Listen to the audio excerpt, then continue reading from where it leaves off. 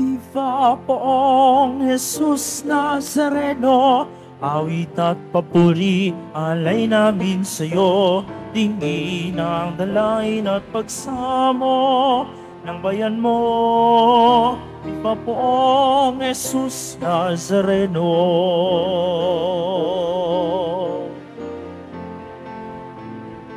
Tayo ngayon ay magtipon sambahin ang poon. Magdiwang tayo sa ating debosyon, purihin ang Panginoon. Viva po, Jesus Nazareno, awit at papuri, alay namin sa'yo, tingin ang dalangin at pagsamo. Ng bayan mo. Viva po, Jesus Nazareno.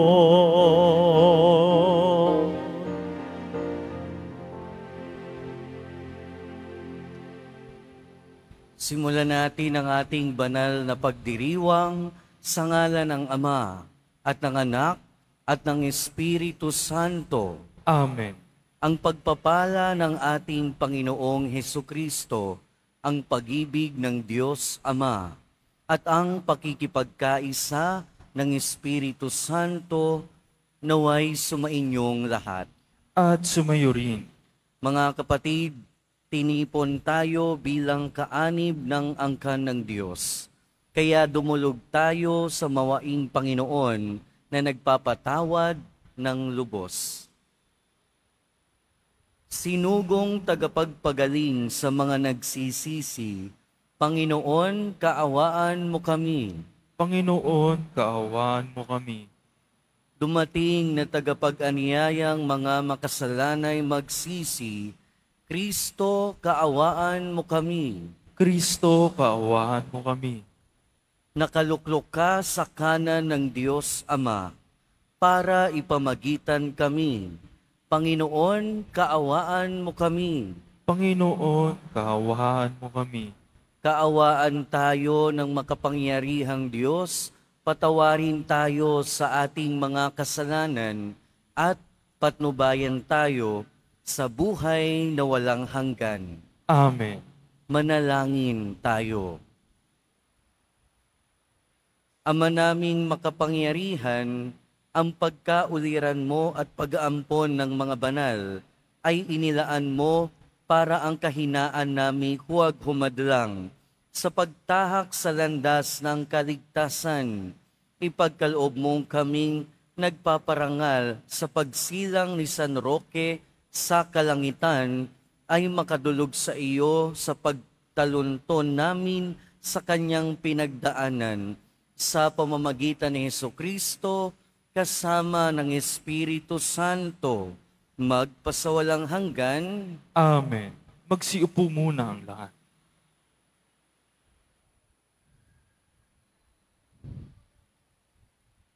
Pagbasa mula sa aklat ni Propeta Ezekiel. Sinabi sa akin ng Panginoon, Pao, ipamukha mo sa Jerusalem ang kanyang kasuklam-suklam na gawain.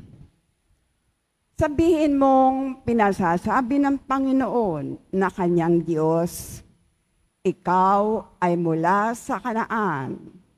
Amoreo ang iyong ama at Hetea ang iyong ina. Nang ikaw ay isilang, hindi ka pinutulan ng pusod, ni pinaliguan, ni kinuskos ng asin, ni binalot ng lambing. Walang nag-ukol ng panahon upang gawin sa iyo ang isa man sa mga bagay na dapat gawin. Wala man lamang naawa sa iyo. Basta ka na lamang inilapag sa lupa nang ikaw ay isilang. Nadaanan kitang kakawag-kawag sa sarili mong dugo. Sinabi ko sa iyo noon na mabubuhay ka at lalaking tulad ng mga halaman sa parang. Lumaki ka nga at naging dalaga. Maganda ang iyong dibdib. Mahaba ang iyong buhok. Ngunit ikaw ay hubad. Nang madaanan kita uli, nakita kong ikaw ay ganap ng dalaga. At ibinalabal ko sa iyo ang aking kasuutan upang matakpan ang iyong kahubaran.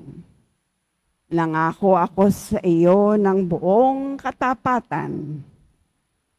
Nakipagtipan ako sa iyo at ikaw ay naging akin. Pinaliguan kita, nilinis ko ang dugo mo sa katawan at pinahiran kita ng langis. Linamnan kita ng mga magagandang burda at sinuotan ng sandalyas na balat. Binalot kita ng pinong lino at damit na seda. Sinuotan kita ng pulseras sa magkabilang braso at binigyan ng kwintas. Binigyan din kita ng hikaw sa ilong at tainga. Pinutungan kita ng isang magandang korona. Nagayakan ka ng alahas na pilak at ginto. Ang kasuotan mo ay pinong lino, piling seda, at telang nabuburdahan ng magaganda. Ang pagkain mo'y yari sa pinakamainam na harina. Pulot, pukyutan at langis ang iyong inumin. Lumaki kang walang kasing ganda at nalag, nalagay sa katayuan ng isang reyna. Natanyag sa lahat ng bansa ang iyong kagandahan pagkat lalo itong pinatingkad ng mga palamuting iginayak ko sa iyo. Ngunit naging palalo ka dahil sa iyong kagandahan. Ano pat, nabuyok ka sa pagiging patutot at ang sarili mo'y ipinaangkin sa lahat ng makita mo. Gayunman, hindi ko na rin kalilimutan ang ginawa kong tipan sa iyo nang ikaw ay bata pa. Ngayon ay gagawa ako ng tipan para sa atin. Hindi ito masisira kailanman. Sa, tan- sa sandaling ipatawad ko ang lahat mong kasalanan matitikom ang bibig mo dahil sa laki ng kahihiyan. Ang salita ng Diyos. Salamat sa Diyos.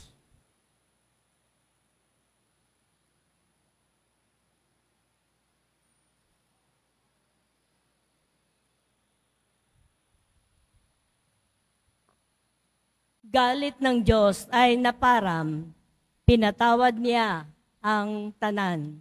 Galit ng Diyos ay naparam. Pinatawad niya ang tanan.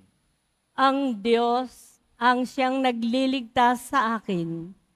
Tiwalang tiwala ako at wala muntimang pangamba. Sapagkat ang poon ang lahat sa akin. Siya ang aking awit ang aking kaligtasan. Malugod kayong sasalok ng tubig sa batis ng kaligtasan. Galit ng Diyos ay naparam. Pinatawad niya ang tanan. Magpasalamat kayo sa poon. Siya ang inyong tawagan. Ipaalam ninyo sa mga bansa ang kanyang ginawa. Ipahayag ninyo ang kadakilaan ng kanyang pangalan. Galit ng Diyos ay naparam. Pinatawad niya ang tanan. Umawit kayo ng papuri sa Diyos, sapagkat kahanga-hanga ang kanyang mga ginawa. Ipahayag ninyo ito sa buong daigdig.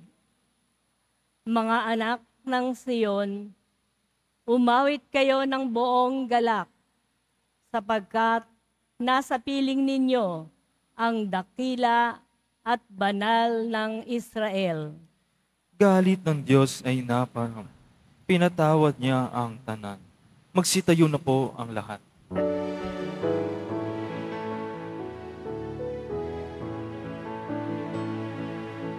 Alleluia,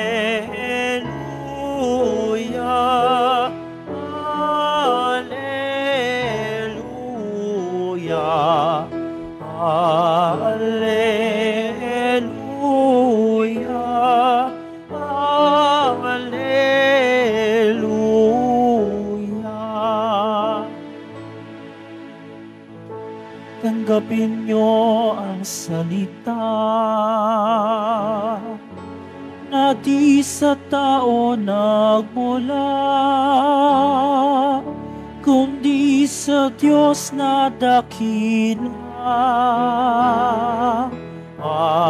Alleluia,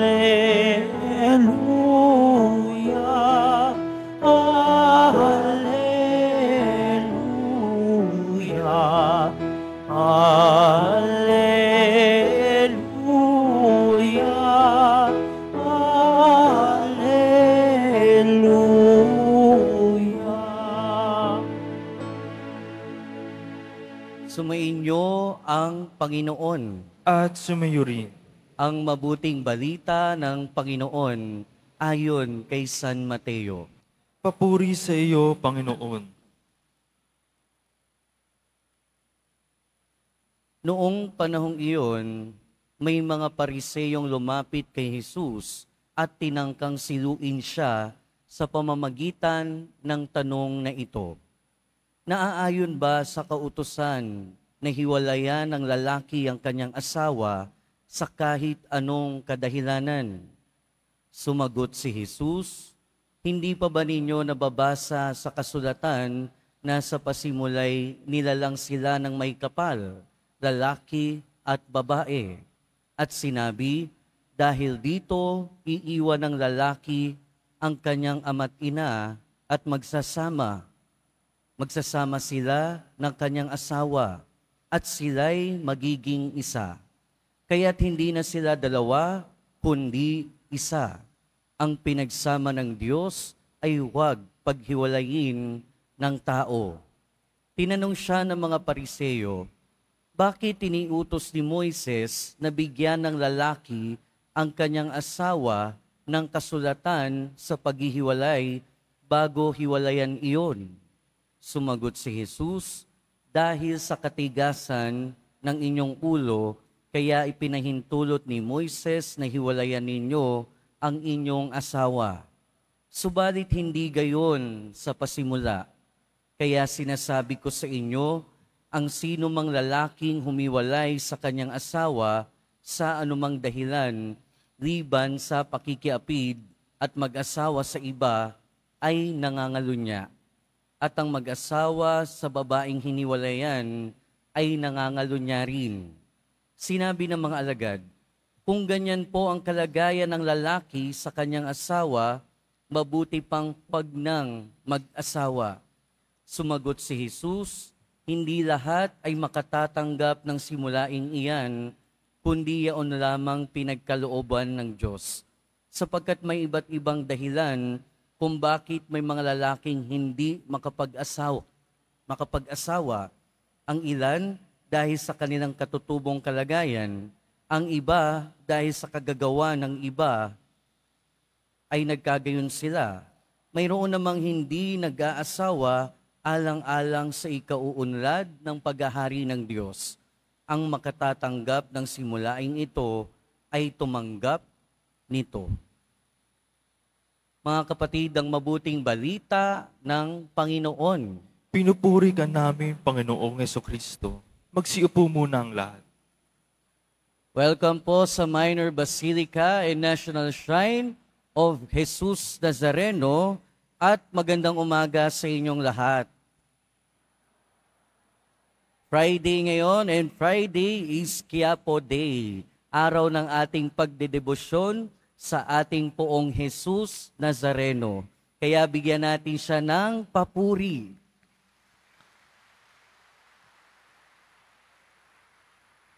Ngayon din mga kapatid ay pinigdiriwang natin o ginugunita natin si San Roque, ang nagpapagaling. Si San Roque, pansamantala siyang nagkaroon ng sakit. Bakit? Dahil galing siya sa mag- maimpluwensyang pamilya, may kaya, pero nakita niya naghihirap ang marami niyang kababayan. Kaya ang ginawa niya, tumulong siya na magpagaling. Pumunta siya sa mga may sakit. Noong mga panahon na yun kasi, nagkaroon ng epidemya doon sa lugar nila. Pero katutulong niya sa mga may sakit, siya rin mismo nahawa.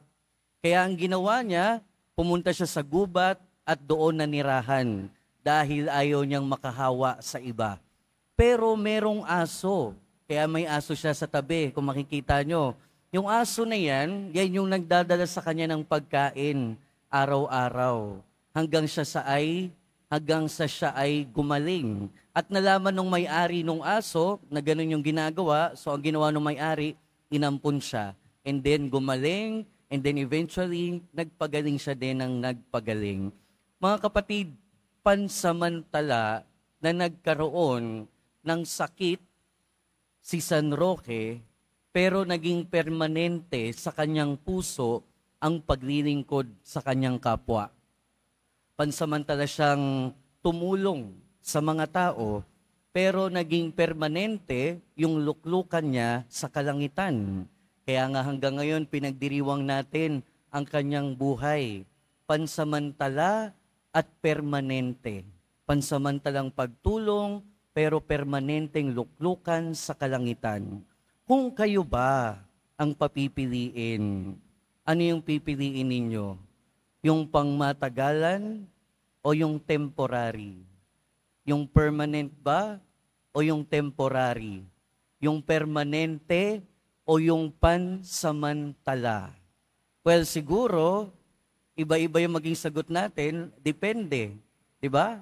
Depende kung anong sitwasyon. As usually, kapag ka tayo nakakaranas ng kasiyahan sa isang bagay, pagka tayo nakakaranas ng kaginhawahan at walang problema, gusto natin permanente. Gusto natin pangmatagalan na. Kung tayo nakatikim ng ginhawa sa buhay, kung for example marami tayong pera, pera, siyempre gusto natin permanente na yan. Pero kapag ka nakaranas tayo, pag nagsimula na tayo makaranas ng paghihirap, gusto natin temporary na lang. Gusto natin pansamantala lang. Sino ba namang gustong maghirap habang buhay? Sino ba namang gusto magtiis habang buhay? Sino ba namang gusto mamroblema habang buhay? Kaya kapag ka maganda, gusto natin permanente. Pero kapag ka hindi na maganda, gusto natin pansamantala. Pero kahit sa pagsasama na mag-asawa, ina-apply natin ito. Mga kapatid, ang kasal, ang buhay mag-asawa, sa narinig natin sa Ebanghelyo, ay supposedly permanente. Supposedly walang hanggan supposedly kamatayan lang ang makapaghihiwalay sa mag-asawa. Pero hindi lang naman sa buhay mag-asawa pwedeng i-apply yung pagiging permanente. Dahil ang ating relasyon sa Diyos ay dapat permanente. Sa ating unang pagbasa, narinig natin kung papaanong inilalarawan ng Diyos ang kanyang relasyon sa kanyang bayan sa pamamagitan ng buhay mag-asawa, sa pamamagitan ng pagiging mag-asawa. Kaya nga 'di ba, yung covenant ng Diyos sa kanyang tao, pakikipagtipan. Pag sinabi nating tipan, hindi lang ito pangako. Pag sinabi nating tipan, ito ay higit pa sa pangako at higit pa sa sumpa. Si ibig sabihin, talagang hindi pwedeng mawala. Talagang hindi pwedeng matigil. At yon ang salamin ng relasyon ng Diyos sa kanyang bayan. At salamin din ng relasyon ng bawat isa sa atin sa ating Panginoon. Katulad ng kasal. Sa unang pagbasa, narinig natin kung papaanong ipinapamuka, pinapamuka ng Diyos sa kanyang bayan na siya ay kanyang pinulot, binihisan, lahat ginawa ng kabutihan para maging katipan. Pero sa huli, siya ay nagtaksil pa rin. Ang bayan niya ay nagtaksil pa rin. Pinili pa rin ang temporary, ang pansamantala kesa sa permanente. Pero ang katotohanan ay hindi natin maiaalis. Sa unang pagbasa at sa ating ibanghelyo, sinasabi dito at matututuhan natin na ang tipan ng Diyos sa kanyang bayan at ang tipan ng Diyos sa bawat isa sa atin ay kahit kailan hindi mawawala. Ito ay permanente. Ito ay mananatili kahit nagtaksil ang bayan ng Israel, na natili yung tipan ng Diyos at hindi nawala. At kahit ilang beses tayo magtaksil sa Diyos, hindi hindi mawawala ang tipan ng Diyos sa atin. Kaya nga supposedly ito yung maging larawan ng buhay mag-asawa. Supposedly ito yung maging larawan ng kasal hindi nawawala, hindi natutunaw, hindi napipigtal.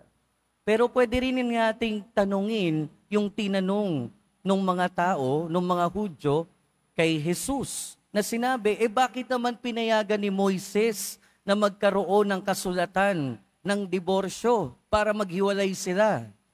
Mga kapatid, sa kontekstong ito, nung panahon kasi na yon, sobrang dami nang naghihiwalay. Sobrang dami. And so, para makontrol, para makontrol yung pagdami, gumawa ng rules, gumawa ng mga guidelines si Moises para hindi basta-basta maghiwalay. Ibig sabihin, ang diborsyo ay para sana ingatan ang pagsasama ng mag-asawa. Dahil aminin man natin o hindi, may mga tao na hindi naman talaga, wala naman talagang kapasidad para sa buhay mag-asawa. May mga tao na hindi naman talaga kaya na bumuo ng pamilya. Kaya nga sinasabi ng ating Panginoon, dun sa mga hindi nag-aasawa, hindi lahat ay makatatanggap ng simulaing iyan. Kaya nga 'di ba sa simbahan, meron tayong annulment.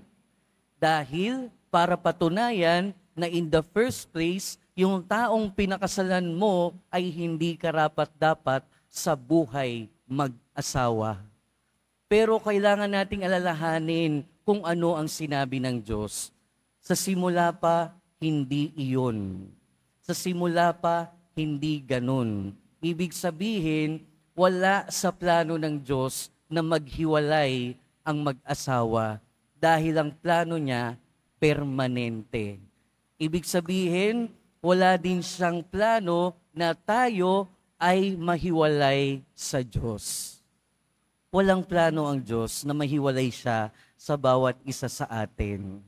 Sa atin ngayon, ano, maraming pinaglalaban talaga na dapat maghiwalay kung ayaw na na dapat humiwalay kung talagang abusive na. Well, may katotohanan, meron din namang mga gray areas. Mga kapatid, ngayon kasi kapag ka konting hirap gusto na nating tumakas. Kapag ka konting sakit, gusto na nating umalis. Kapag ka nagsawa na tayo, ayaw na natin. Kapag ka wala ng init ng pagmamahal, wala na. Pero hindi lang sa kasal natin tinitignan yan. Hindi lang sa kasal natin ina-apply yan. Kahit sa sarili nating buhay, minsan naia-apply natin yan. Di ba? Minsan, kapag ka tayo nakaranas ng problema, ay ayoko na. Ayoko nang magsimba. Hindi na ako magsisimba. Kapag ka tayo nakaranas minsan ng unos, pagka minsan may hindi tayo natupad na panalangin, anong ginagawa natin? Ay ayoko na. Hindi na ako naniniwala sa Diyos. Hindi na ako magsisimba. Kapag ka merong trahedya na nangyari sa atin, minsan na hindi natin maintindihan anong sinasabi natin, walang Diyos. Ba't pa ako maniniwala? Walang Diyos. Ibig sabihin, gusto na rin nating humiwalay. Ibig sabihin, gusto na din nating lumayo sa Diyos kapag ka nakaranas tayo ng pagtitiis at paghihirap. But again, sinabi ng Panginoon sa simula pa, hindi ganon. Hinding hindi pinlano ng Diyos na mahiwalay tayo sa Kanya. Pero kahit tayo humiwalay sa Kanya, mananatili yung tipan ng Diyos. Mananatili yung plano niya na tayo'y bumalik sa Kanya. Kaya mga kapatid, sa pagpapatuloy ng ating buhay, isa sa mga permanente na plano ng Diyos ay ang pagsasama ng mag-asawa.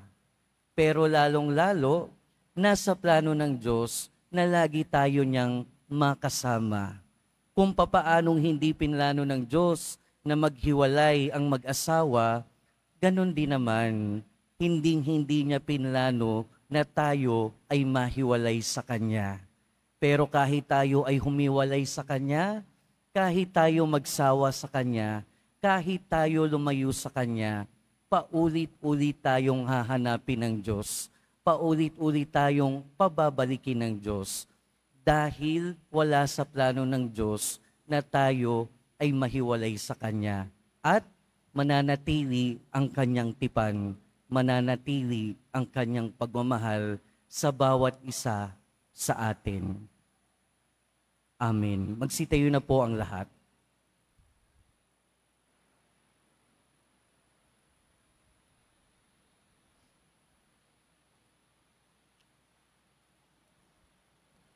Minamahal kong mga kapatid, nakikilahok sa paglikha ng Diyos ng bagong buhay ang mga mag-asawa at may bahay.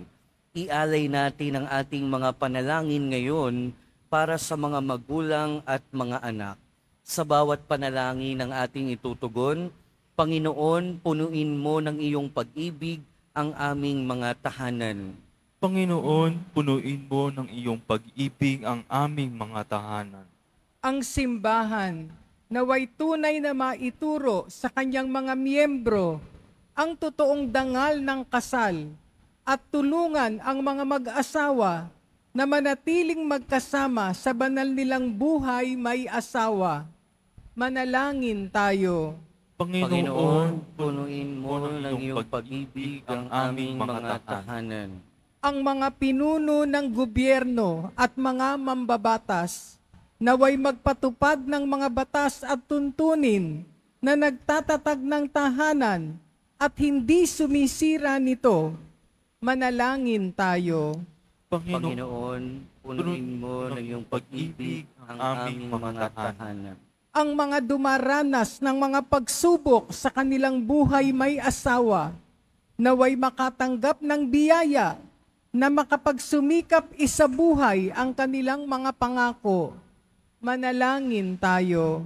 Panginoon, punuin mo ng iyong pag-ibig ang aming mga tahanan. tahanan. ang mga pamilyang nasira dahil sa diborsyo at paghihiwalay, naway makatagpo ng suporta at pangunawa sa kanilang kapwa-tao, sa kanilang komunidad. Manalangin tayo. Panginoon, punuin mo ng iyong pag-ibig ang aming mga tahanan. Ang mga yumao nating mga kamag-anak at kaibigan, naway magtamo ng kaligayahan at kapayapaan sa walang hanggang tahanan ng Diyos. Manalangin tayo. Panginoon, punuin mo ng ng iyong pag pag-ibig ang aming mga tahanan. Diyos ng pag-ibig, nilikha mo kaming lalaki at babae upang ipagpatuloy ang iyong gawaing lumikha. Ang pagmamahal namin sa isa't isa naway sumalamin sa iyong pananahan sa aming buhay. Hinihiling namin ito sa pamamagitan ni Kristo na aming Panginoon. Amen. Magsiupo muna ang lahat.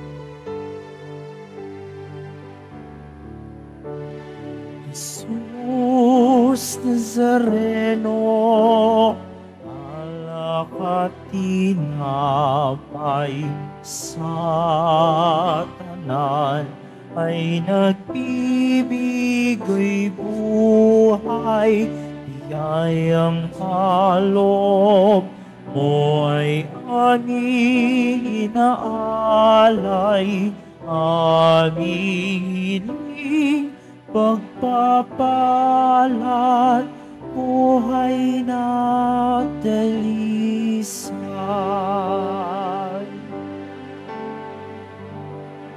Magsitayo na po ang lahat. Manalangin kayo mga kapatid upang ang paghahain natin ay kalugdan ng Diyos amang makapangyarihan. Tanggapin nawa ng Panginoon itong paghahain sa inyong mga kamay, sa kapurihan niya at karangalan, sa ating kapakinabangan at sa buong sambayan niyang banal. Ama naming lumikha, pakundangan sa paghahaing inihanda. Ngayong si San Roque ay ginugunita, pagkalooban mo kami ng pagpapala at kapayapaan at kaisahan sa pamamagitan ni Heso Kristo kasama ng Espiritu Santo magpasawalang hanggan, Amen. Sumainyo ang Panginoon. At sumayo rin, Itaas sa Diyos ang inyong puso at diwa. itinaas na namin sa Panginoon. Pasalamatan natin ang Panginoong ating Diyos. Marapat na siya ay pasalamatan. Ama naming makapangyarihan, tunay ngang marapat na ikaw ay aming pasalamatan. Ang pagpaparangal sa iyong kabutihay, lagi mong pinaalingaw-ngaw sa iyong sambayanan. Sa pagkakaroon ng mga kaanib na maaasahan at tapat tulad mo sa pananagutan upang magbunga ang punyagi ng iyong anak na sa iyong pag-ibig kami makatulad. Ang mga banal na tao'y tumutulong sa lahat sa pagbibigay halimbawa't panalangin wagas. Kaya kaisa ng mga anghel na nagsisiawit ng papuri sa iyo nang walang humpay sa kalangitan, kami nagbubunyi sa iyong kadakilaan.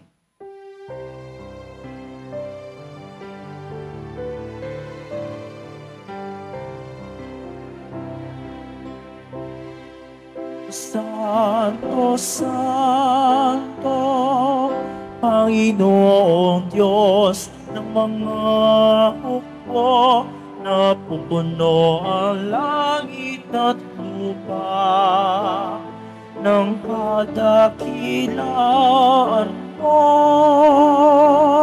Hosana sa kaitaasan,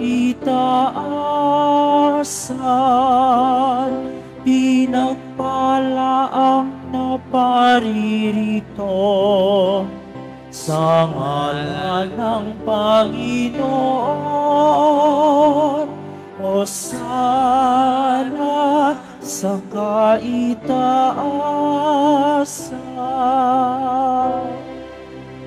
Magsiluhod po ang lahat. Ama naming banal, ikaw ang bukal ng tanang kabanalan. Kaya't sa pamamagitan ng iyong Espiritu, gawin mong banal ang kaloob na ito upang para sa aming maging katawan at dugo ng aming Panginoong Heso Kristo. Bago niya pinagtiis ang kusang loob na maging handog, hinawakan niya ang tinapay. Pinasalamatan kaniya. Pinaghati-hati niya iyon. Iniabot sa kanyang mga alagad at sinabi, Tanggapin ninyong lahat ito at kanin. Ito ang aking katawan na ihahandog para sa inyo.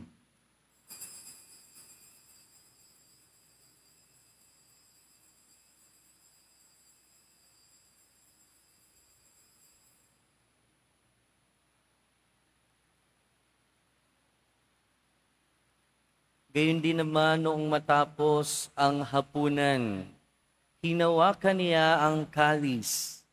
Muli kanyang pinasalamatan.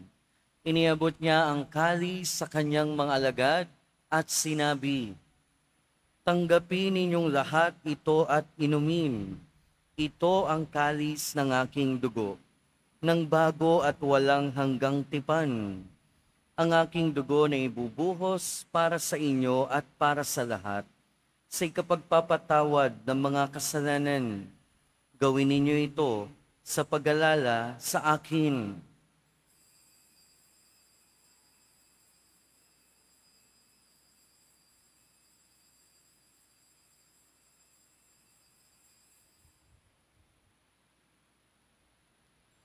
Magsitayo na po ang lahat. Ipagbunyi natin ang misteryo ng pananampalataya. Si Kristo'y namatay, si Kristo'y nabuhay, si Kristo'y babalik sa wakas ng panahon. Ama, ginagawa namin ngayon ang pag-alala sa pagkamatay at muling pagkabuhay ng iyong anak. Kaya tiniaalay namin sa iyo ang tinapay na nagbibigay buhay at ang kalis na nagkakaloob ng kaligtasan. Kami nagpapasalamat dahil kami iyong minarapat na tumayo sa harap mo para maglingkod sa iyo. Isinasamo namin kaming magsasalo-salo sa katawan at dugo ni Kristo ay mabuklod sa pagkakaisa sa pamamagitan ng Espiritu Santo. Ama, lingapin mo ang iyong simbahang laganap sa buong daigdig puspusin mo kami sa pag-ibig kaysa ni Francisco na aming Santo Papa at ni Jose na aming obispo at ng tanang kaparian. Alalahanin mo rin ang mga kapatid naming nahimlay nang may pag-asang sila'y muling mabubuhay, gayon din ang lahat ng mga pumanaw. Kaawaan mo sila at patuloyin sa iyong kaliwanagan. Kaawaan mo at pagindapating kaming lahat na makasalo sa iyong buhay na walang wakas kaysa ng mahal na Birheng Maria na ina ng Diyos, ng kabiyak ng puso niya si San Jose, kaysa ng mga apostol ni San Juan Bautista, San Roque, at ng lahat ng mga banal na namuhay dito sa daigdig ng kalugod-lugod sa iyo maipagdiwang nawa namin ang pagpupuri sa ikararangal mo sa pamamagitan ng iyong anak na aming Panginoong Heso Kristo.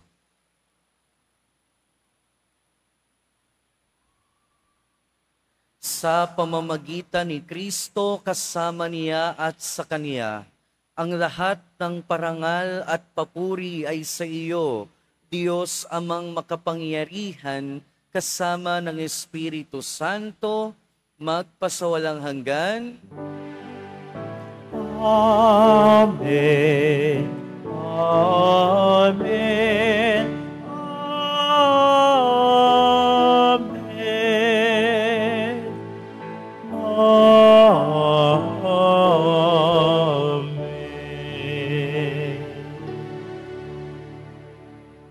tagubilin ng mga nakagagaling na utos at sa turo ni Jesus na Panginoon natin at Diyos, ipahayag natin ng lakas loob.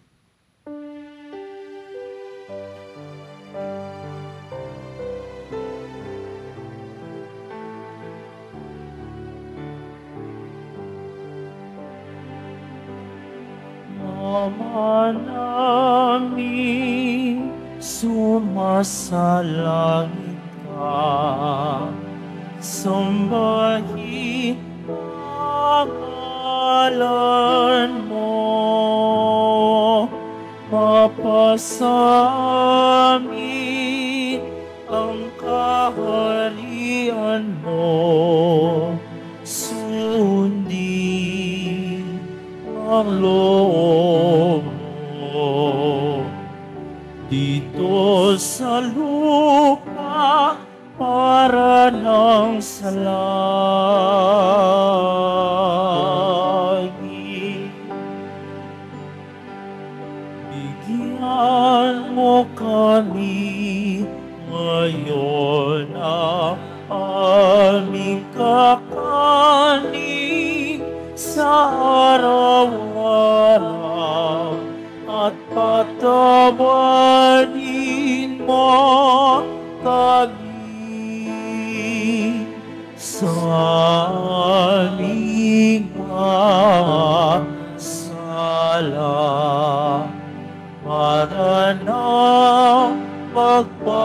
magpapatawad namin sa nagkakasala sa amin. At huwag mo kaming ipahintulot sa tukso at yadyaw mo kami sa lahat ng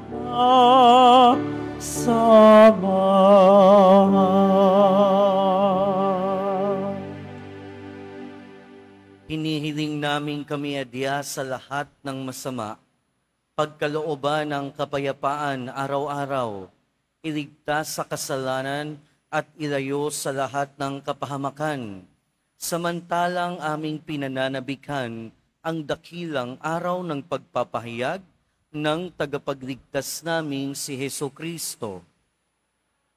Tiyo ang kaharian at ang kapangyarihan at ang kapurihan magpakailanman. Amen. Panginoong Heso Kristo, sinabi mo sa iyong mga apostol, Kapayapaan ang iniiwan ko sa inyo. Ang aking kapayapaan ang ibinibigay ko sa inyo. Tunghayan mo ang aming pananampalataya at huwag ang aming pagkakasala. Pagkalooban mo kami ng kapayapaan at pagkakaisa ayon sa iyong kalooban kasama ng Espiritu Santo magpasawalang hanggan. Amen. Ang kapayapaan ng Panginoon ay laging sumainyo. At sumayo rin. Magbigayan tayo ng kapayapaan sa isa't isa. Peace be with you po. Kordero ng Diyos na naghaalis ng mga kasalanan ng sanlibutan, maawa ka sa amin. Kordero ng Diyos na naghaalis ng mga kasalanan ng sanlibutan, maawa ka sa amin. Kordero ng Diyos na naghaalis ng mga kasalanan ng sanlibutan, ipagkaloob mo sa amin ang kapayapaan. Magsiluhod po ang lahat.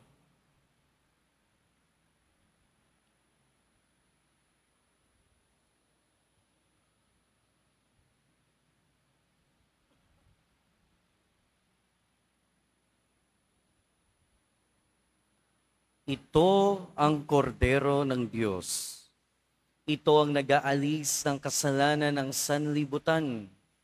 Mapalad ang mga inaanyayahan sa kanyang piging. Panginoon, hindi ako karapat dapat na magpatuloy sa iyo.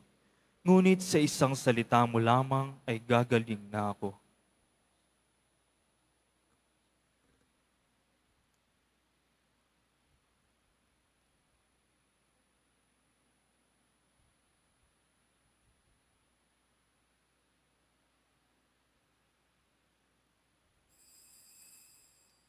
Para sa lahat ng tatanggap ng banal na komunyon, sasagot po tayo ng amin pagkasabi ng pari o ng lay minister ng katawan ni Kristo. At isubo agad sa bibig bago umalis sa harapan ng pari o lay minister. Sumunod po tayo.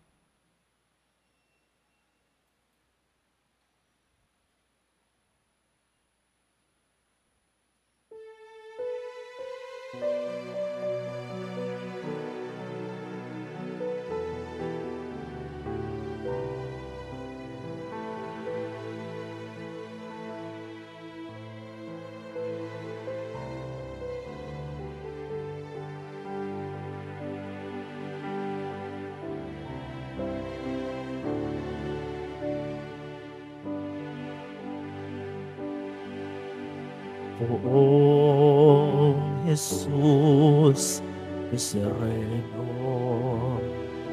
salamat po sa pag-ibig mo.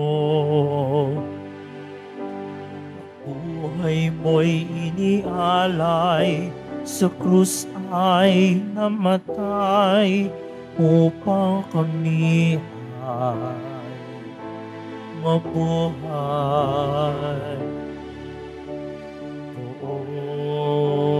Poong Jesus Nazareno, patawad po sa mga kasalanan ko. Buhay ko'y iaalay, ang lahat ay ibibigay. Upos ko'y sa'yo lamang habang buhay. Poong Isus Nazareno, kay buti mo sa hirap pato sa ikay kasama ko. Ang samo ko, dasal sana'y pakinggan mo nang mapawi ng mga paghihirap ko. Kung Jesus Nazareno, salamat po ang iyong pagmamalay na darama ko. Ngayon at magpakailanman, ika'y pupurihin ko. Mahal na poong Jesus Nazareno.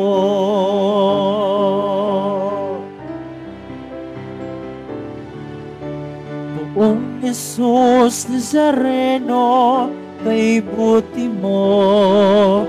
Sa hirap at dusa, ika'y kasama ko. Ang samo ko, dasal sana'y pakinggan mo. Nang mapawi ng mga paghihirap ko. Noong Jesus Nazareno, salamat po ang iyong pagmamalay na darama ko. Ngayon at magpakailanman, ika'y pupurihin ko. Mahal na poong Jesus Nazareno.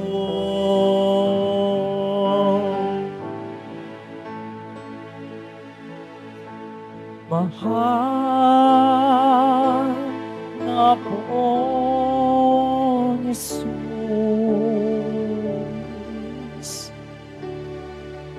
Nazareno.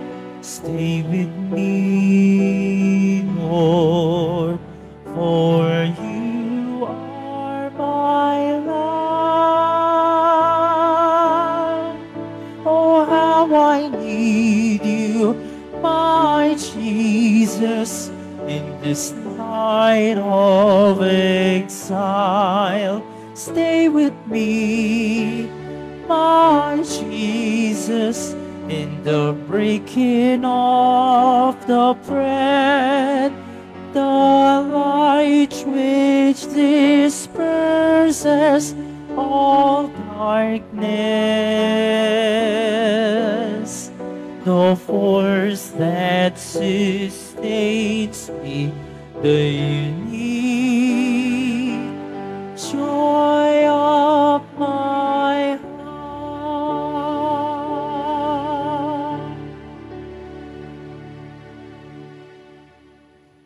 ang Ministry of Altar Servers ng Basilica Minor at Pambansang Dambana ni Jesus Nazareno ay muling naghahanap at tumatanggap ng mga nanagnais na maging lingkod ng dambana ng poong Jesus Nazareno bilang sakristan. Inaanyayahan namin ang mga kalalakihan na may edad 10 hanggang 21 taong gulang na lumahok sa aming training program. Para sa mga nagnanais na lumahok, maaaring bisitahin at i-message ang Facebook page ng Ministry of Altar Servers, Quiapo Church. Mga paalala sa mga nagsisimba. Pagkatapos ng misa, wiwisikan po ang lahat ng banal na tubig. Pinakikiusapan ng lahat na manatili lamang muna sa inyong mga lugar. Tanging sa Quezon Boulevard o Plaza Sarwan lamang ang labasan ng lahat. Sumunod po tayo. Maraming salamat po sa inyong pagdalaw at pagsisimba sa Basilica Menor at pambansang dambana ni Jesus Nazareno. Magsitayo na po ang lahat. Manalangin tayo. Ama naming mapagmahal, ang aming pakikinabang ngayong ginugunita si San Roque ay magpabanal nawa sa aming kalooban upang kaming pagindabating makasalo sa iyong sariling buhay kasap sa pamamagitan ng Yeso Kristo kasama ng Espiritu Santo magpasawalang hanggan Amen. Sumainyo ang Panginoon. At sumayo rin. Mahal na poong Jesus Nazareno, inihayag mo sa pamamagitan ng krus ang walang maliw na pag-ibig ng Diyos sa sangkatauhan. Pakinggan mo ang kahilingan ng iyong angkan na nagsusumamo sa iyo. Makamtanawa nila ang iyong katugunan at tanggapin ang kasagutan na may utang na loob na tinatanaw. Basbasan din po ninyo ang mga daladala nilang imahen at dasalan. Sa pamamagitan ng bendisyon na ito, naway maalala nila ang mga pangako nila noon sa binyag, na ikaw ang kanilang iibigin at paglilingkuran bilang Panginoon, magpasawalang hanggan. Amen. At pagpalain kayo ng makapangyarihan at mapagmahal na Diyos, ng Ama at ng Anak at ng Espiritu Santo. Amen. Humayo kayong taglayang kapayapaan ng poong Jesus Nazareno. Salamat sa Diyos.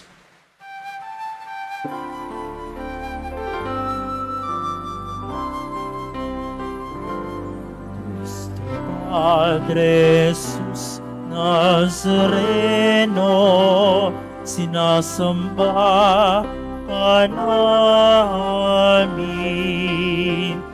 Pinipinto ka namin, aral mo aming buhay at kaligtasan. Gusto Padre Jesus Nazareno, iligtas mo kami sa kasalanan. Ang krus mong kinamatayan ay sigisag ng aming kaligtasan. Nuestro Padre Jesus Nazareno, dinarangal ka namin. Nuestro Padre Jesus Nazareno, dinulwalhati ka namin. Nuestro Padre Jesus Nazareno, dinaraman ka namin. Nuestro Padre Jesus Nazareno, inulwalhati ka namin.